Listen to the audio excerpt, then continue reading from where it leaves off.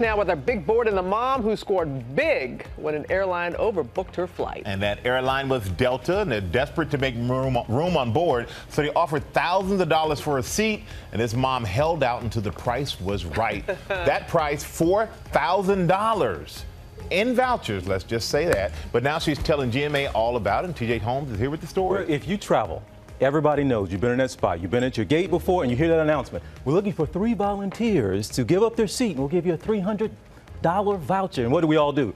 Turn our heads, start doing this. But that's for a few hundred dollars. What if they offered you four grand? Oh, I'm sitting.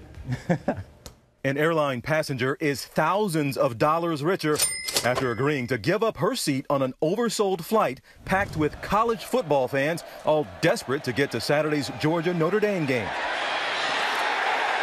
Delta conducted an auction on board, hoping to convince enough people to give up their seats so the plane could take off. It was like a live auction on the plane. Everybody was rowdy, laughing. Um, everybody's looking at each other like, are you going to take it? Are you going to take it? Passenger Tracy Smith, who was traveling to the game with her husband Larry and son Adam, says the bidding started high.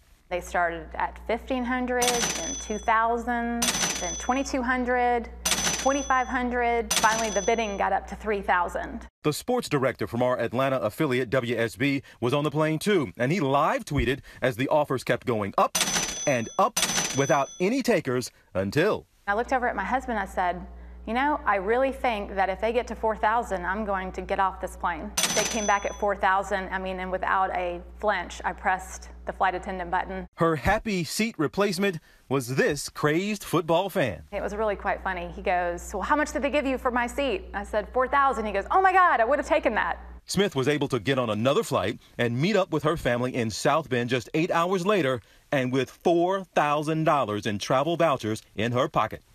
Okay, her husband is the one who's a Notre Dame guy, mm. so she's not even the football fan. She's like, fine, knock yourselves out, enjoy the game. And they she, lost the game. Today. They didn't yeah. lose the game, but she ended up getting another flight later, and she got four grand. She knew her audience. She, she knew. knew those people wanted to get to the game. You know who she these knew people it keep going up. These are Georgia fans, which plays in the SEC, yes. which are some of the craziest fans yeah. on the planet, me included. Uh -huh. There's no way these people have been planning this trip for a year, paid tons of money for their tickets to this game. They were not getting off. She knew it. That's Robach, a Georgia fan. Yes. Yeah, she but they, but they keep overbooking these flights, yes. and they know people hate it. Why do they keep doing that? This is going to come to as a surprise to a lot of people, but money.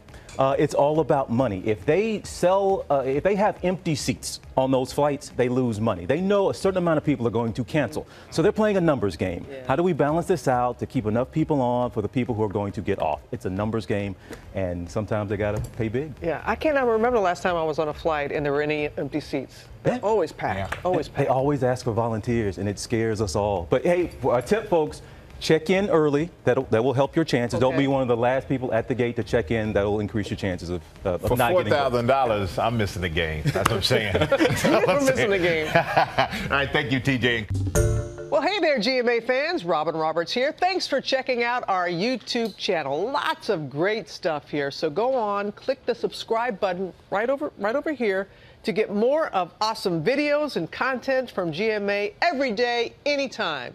We thank you for watching, and we'll see you in the morning on GMA.